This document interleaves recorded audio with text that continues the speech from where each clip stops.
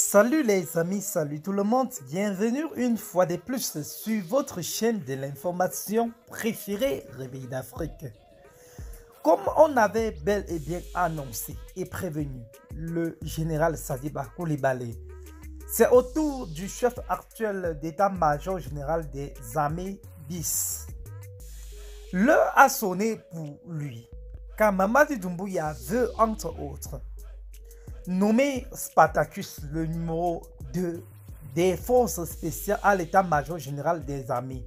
Car comme vous le saviez, Mamadi Doumbouya n'a pas confiance en l'armée guinéenne. Raison pour laquelle il est en train de casser toute l'armée. On avait prévenu Sadiba Koulibaly, il n'a pas écouté.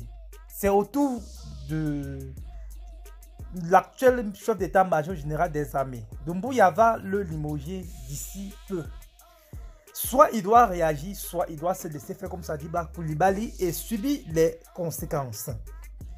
Il savait donc que Mamadi Doumbouya, quand il arrivait au pouvoir, l'unité des forces spéciales était constituée de 300 hommes. Plus les réserves, on pouvait compter 500 hommes. Aujourd'hui, l'unité des forces spéciales est constituée de 3000 hommes.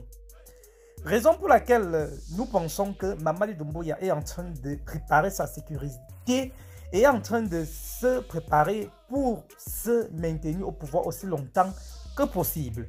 Et pour arriver à ces fins, le chef d'état-major général des armées doit être un élément des forces spéciales car c'est l'armée du général Doumbouya. Ce n'est que sur elle que peut compter Mamadi Doumbouya.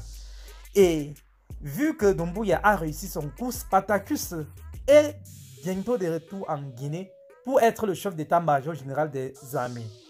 L'actuel chef d'état-major général des armées sera tout simplement limogé et nommé sûrement ambassadeur de la République de Guinée près de celle du Cuba où Sadiba Koulibaly se trouvait. Eh bien les amis, c'est ici que prend fin ce tout petit bulletin d'information. Restez abonnés, rescotez à la chaîne. Partagez si vous la trouvez intéressante. À très bientôt.